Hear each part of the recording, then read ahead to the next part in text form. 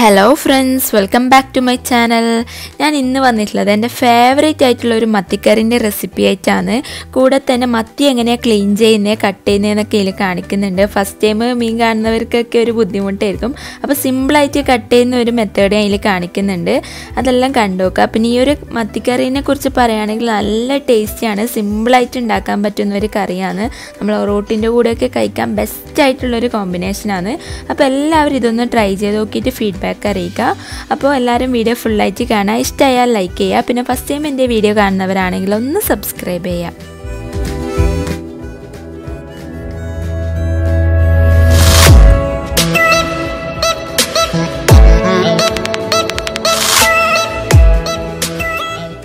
അപ്പോൾ നമുക്ക് നേരെ വീഡിയോയിലോട്ട് പോവാം. പിന്നെ ഈ ഒരു മത്തിക്കറി ഉണ്ടല്ലോ ഞാൻ പെട്ടെന്ന് തന്നെ എടുക്കാമെന്ന് വിചാരിച്ചൊരു വീഡിയോ ആണ്.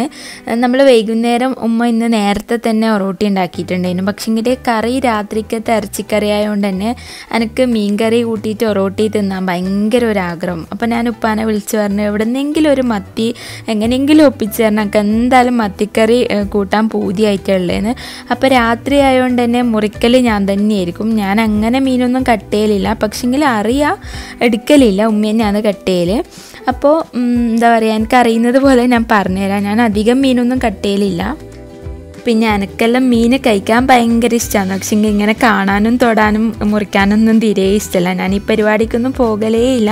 പക്ഷേങ്കിൽ ഇത് ഉമ്മാന്റെ കറിയും മൊറോട്ടിയെല്ലാം റെഡിയായിട്ട് ഞാൻ വിളിച്ച് പറഞ്ഞുകൊണ്ടാണ് ഞാൻ തന്നെ ക്ലീൻ ആക്കാമെന്ന് വിചാരിച്ചത് പിന്നെ ഇങ്ങൾക്കും കൂടി കാണിച്ചു തരാമെന്ന് വിചാരിച്ച് നമ്മൾ മത്തി എങ്ങനെയാണ് കട്ട് ചെയ്യുന്നതെന്ന് ആദ്യം തന്നെ ഇതിന്റെ ഈ ഇതുണ്ടല്ലോ മേലത്തെ ആ ഒരു ചൂള കളയാം. ചൂളയല്ല കേട്ടോ സോറി ചൂളി എന്നാണ് പറയാം. ഞാനിപ്പോൾ ഉമ്മാനോട് ചോദിച്ചിട്ട് വരുന്നതാണ്. അപ്പം ചൂളയെല്ലാം കളഞ്ഞതിന് ശേഷം അതിന്റെ സൈഡിലുള്ള ഒരു വിങ്സ് പോലത്തെ ഒരു സാധനമുണ്ട്. അതും കട്ട് ചെയ്യുക എന്നിട്ട് അതിന്റെ വാലുണ്ടല്ലോ അതും കട്ട് ചെയ്തിട്ട് ഞാൻ കത്രിക വെച്ചിട്ടാണ് കേട്ടോ കട്ട് ചെയ്യൽ പിന്നെ ഈ ഒരു ചൂളി കളയാൻ ഇങ്ങനെ കത്തിനെ കൊണ്ട് ചേർന്നി കൊടുത്താൽ മതി.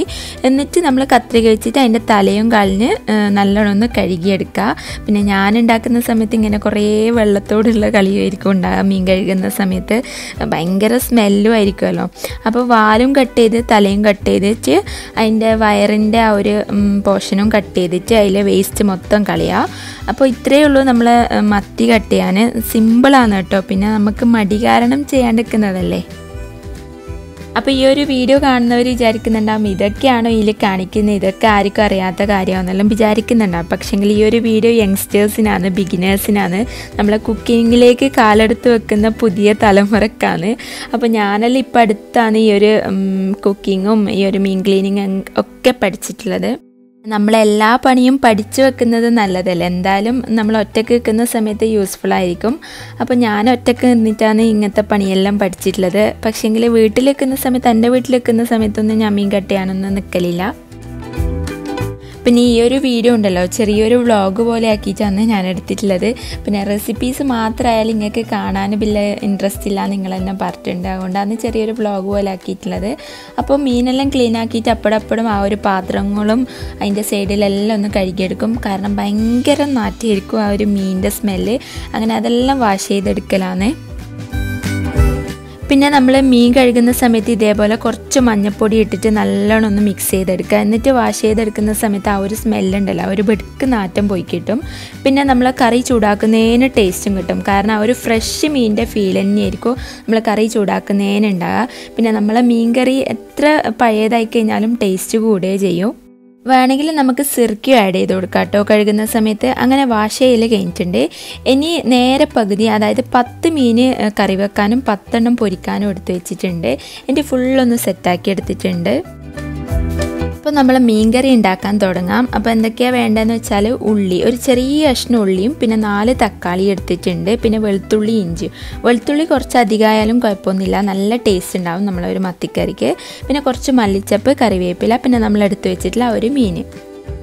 പിന്നെ നമ്മൾ ഈ ഒരു മത്തിക്കറി ഉണ്ടാക്കുന്നത് ചട്ടിയിലാണ്. ഏതൊരു കറിയും ചട്ടിയിൽ ഉണ്ടാക്കുമ്പോൾ ഒരു പ്രത്യേക ടേസ്റ്റ് ആണല്ലോ. അപ്പോൾ ചട്ടി ചൂടാകാൻ വെച്ചിട്ടുണ്ട്. അപ്പോഴത്തേക്കും ഈ ഒരു വെജിറ്റബിൾസ് ഒക്കെ ഒന്ന് കട്ട് ചെയ്തെടുക്കലാണ്. അപ്പോൾ നമ്മളെ ചട്ടി കുറച്ച് അധികം തന്നെ ചൂടായിട്ടുണ്ട്. എല്ലാവരുടെ മൂക്കിലും കയറിയിട്ടുണ്ട് നമ്മളെ തലേന്നത്തെ മീൻകറീന്റെ ചട്ടി ചൂടാക്കുമ്പോൾ ഒരവസ്ഥ ഇപ്പം ഞാൻ പറയാണ്ട് നിങ്ങൾക്കറിയാലോ. ഭയങ്കര തുമ്മലല്ലേനു അപ്പോൾ അതെല്ലാം കഴിഞ്ഞിട്ട് കുറച്ച് സമയം ഓഫാക്കിയിട്ട് വീണ്ടും ഓണാക്കിയതാണ്. എന്നിട്ടും ഈ ഒരു അവസ്ഥ തന്നെ എന്താണെന്നറിയില്ല അപ്പോൾ വെളിച്ചെണ്ണ ഒഴിച്ച് അതിലേക്ക് കുറച്ച് കടുകും ഉലുവി ഇട്ടിട്ട് നമ്മൾ ഉള്ളി ഇട്ടിട്ട് നല്ലോണം ഒന്ന് വാറ്റി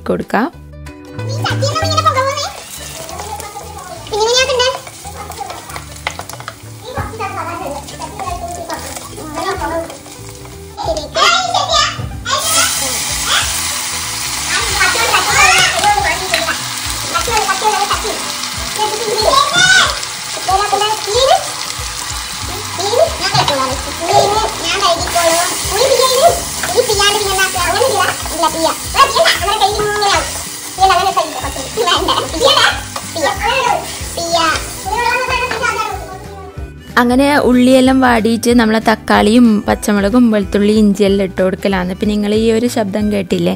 അതെന്താണെന്ന് വെച്ചാൽ പുളി എന്തായാലും നമ്മൾ ഞാൻ ഉണ്ടാക്കുന്ന സമയത്ത് ഉമ്മ എന്നെ കൊണ്ട് പുളി കഴുകിപ്പിക്കൂല.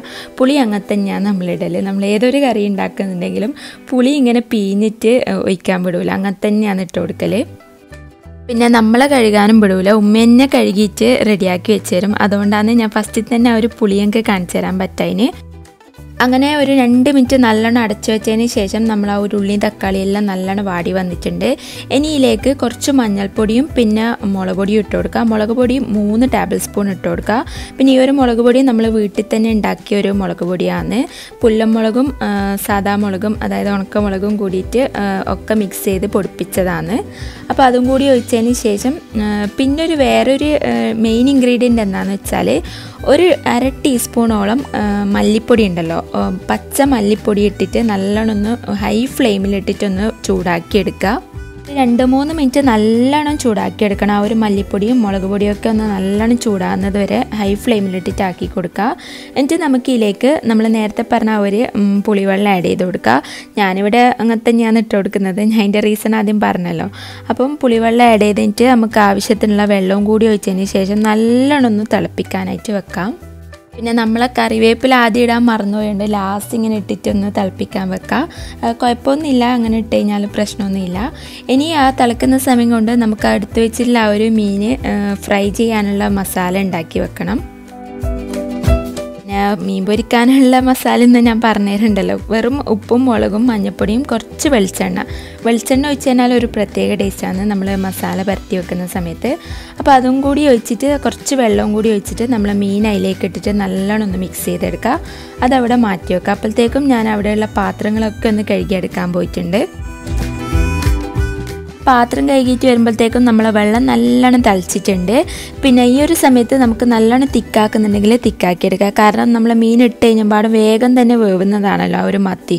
അപ്പോൾ ഈ ഒരു സമയത്ത് തന്നെ തിക്കാക്കി എടുക്കുന്നുണ്ടെങ്കിൽ ആക്കിയെടുക്കുക. പിന്നെ നമുക്ക് കുറച്ച് ലൂസായിട്ടുള്ള ഇലാണ് ടേസ്റ്റ് കുറച്ചുകൂടി ഇഷ്ടം. മീനെല്ലാം ഇട്ട് കൊടുത്തിട്ട് ഒരു പത്ത് മിനിറ്റ് അടച്ചു വെച്ചിട്ട് നല്ലോണം ഹൈ ഫ്ലെയിമിലിട്ടിട്ട് കുക്ക് ചെയ്തെടുക്കുക അപ്പോഴത്തേക്കും നമ്മളെ കറിയൊക്കെ റെഡി ആയിട്ടുണ്ടാവും. പിന്നെ ഈ ഒരു സമയത്ത് നമുക്ക് ഉപ്പെല്ലാം ചെക്ക് ചെയ്തിട്ട് വേണമെങ്കിൽ ഇട്ട് കൊടുക്കും എല്ലാം ചെയ്യാം. പിന്നെ ഞാൻ ഇതിലേക്ക് മല്ലിച്ചപ്പ് ഇടാനും മറന്നു വെച്ചിട്ടുണ്ട് ലാസ്റ്റിലത്തേക്ക് വെച്ചിട്ടുണ്ട്. അപ്പോൾ ഞാൻ മറന്നു വെച്ചിട്ട് എല്ലാം കീച്ച് വെച്ചിട്ട് അതിന് ഇട്ടിട്ടുള്ളത്.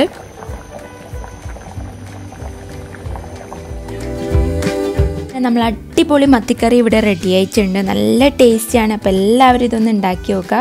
അപ്പോൾ അത് കീച്ച് വെച്ചിട്ട് തീ ഓഫാക്കുന്നതിന് മുന്നേ നമുക്ക് ഫ്രൈ ചെയ്യാനുള്ള ഒരു പാനും കൂടിയിട്ട് അടുപ്പത്ത് വെച്ച് കൊടുക്കുക അപ്പോൾ ഫ്രൈ ചെയ്യലും പിന്നെ മീൻ പൊരിച്ചിട്ട് അപ്പോഴും തന്നെ ഒറോട്ടിയും ആ ഒരു പതക്കുന്ന കറിയും കൂട്ടിയിട്ട് കഴിക്കാനുള്ള ഒരു ടേസ്റ്റ് ഉണ്ട്. അത് പറഞ്ഞറിയിക്കാൻ പറ്റാത്തൊരു ടേസ്റ്റാണ് പിന്നെ നമ്മൾ എന്ത് പൊരിക്കുന്നുണ്ടെങ്കിലും വെളിച്ചെണ്ണയിൽ പൊരിച്ചെടുക്കുമ്പോഴായിരിക്കും കുറച്ചുകൂടി ടേസ്റ്റ് ഉണ്ടാകുക അങ്ങനെ നമ്മൾ മീൻ പൊരിച്ച കൂടി ഇവിടെ ഏകദേശം റെഡി ആവാനായിട്ടുണ്ട്. നമ്മൾ റോട്ടി വൈകുന്നേരം ഉമ്മ ചുട്ടു വെച്ചിട്ടുണ്ടായിരുന്നു. അപ്പം എല്ലാം കൂടി റെഡി ആവുന്നുണ്ട്.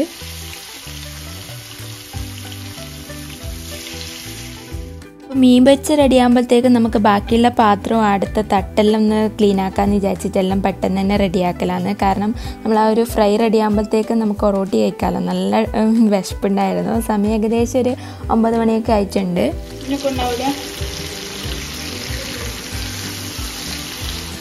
അങ്ങനെ എല്ലാം റെഡി ആയിട്ടുണ്ട്. എല്ലാവരും ഫുഡ് കഴിക്കുന്നുണ്ട്. അപ്പം ഞാനും കൂടി കഴിക്കട്ടെ. നല്ല അടിപൊളി ഒറോട്ടി. പിന്നെ ഈ ഒരു ഒറോട്ടിന്റെ വീഡിയോ ഞാൻ ചെയ്തിട്ടുണ്ട്. നമ്മൾ റേഷൻ പീടിയയിൽ അരി വെച്ചിട്ടുള്ള അടിപൊളി ഒറോട്ടിയാണ്. നല്ല ബോൾ പോലെ പൊങ്ങി വരുന്ന ഒറോട്ടിയാണ്. അപ്പോൾ എല്ലാവരും ഒറോട്ടിയും ഈ ഒരു കറിയൊക്കെ ഉണ്ടാക്കി നോക്കുക. പിന്നെ നമ്മളെ നാട്ടിൽ കണ്ണൂരിൽ അധികം രാവിലത്തെ ഫുഡും രാത്രിക്കത്തെ ഫുഡ് ഈ ഒരു ഒറോട്ടി തന്നെ ഉണ്ടാകുക പിന്നെ നമുക്ക് അങ്ങനെയൊന്നുമില്ല രാവിലെയും നമ്മൾ മീൻ കറി കഴിക്കും. ഇങ്ങനെ കറിയിലിട്ട് ചൂടാക്കിയിട്ടെല്ലാം കഴിക്കാറുണ്ട്. അപ്പം എല്ലാവരും ഇതൊന്ന് ട്രൈ ചെയ്ത് നോക്കാം നല്ല അടിപൊളി മെത്തിക്കറിയും റോട്ടിയും മീൻ പൊരിച്ചും എല്ലാം കൂടി കഴിക്കലാണ്. നല്ല ടേസ്റ്റ് ഉണ്ടായിരുന്നു. അപ്പോൾ എല്ലാവരും ഇതൊന്ന് ട്രൈ ചെയ്ത് നോക്കിയിട്ട് ഫീഡ്ബാക്ക് അറിയിക്കുക. പിന്നെ കുറേ പേര് എന്നോട് റോട്ടീന്റെ റെസിപ്പി ചോദിച്ചിട്ടുണ്ടായിരുന്നു. അപ്പോൾ അത് കാണാത്തവരൊന്ന് കയറി കണ്ടുനോക്കിയിട്ട് കമന്റ് ചെയ്യുക. അപ്പോൾ ഇന്നത്തെ ചെറിയൊരു വിശേഷം എല്ലാവർക്കും ഇഷ്ടമായിട്ടുണ്ടാകുമെന്ന് വിചാരിക്കുന്നു. ഇഷ്ടമായാൽ ലൈക്ക് ചെയ്യാനും ഷെയർ ചെയ്യാനും സബ്സ്ക്രൈബ് ചെയ്യാനും പിന്നെ കമന്റ് ചെയ്യാനും മറക്കരുത്. അപ്പോൾ ഇൻഷാല്ല നല്ലൊരു വ്ളോഗുമായി അടുത്ത വീഡിയോയിൽ കാണാം. അതുവരേക്കും ബൈ